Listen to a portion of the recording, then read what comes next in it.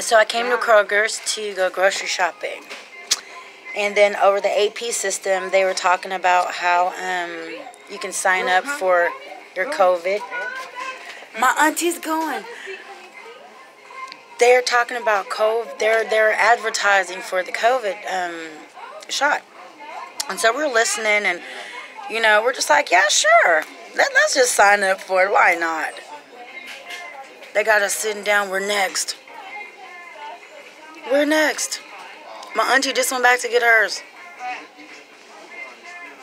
I wasn't expecting that. Look at how I look. I wasn't expecting that at all. But I'm grateful. Stay tuned. Let's see what happens.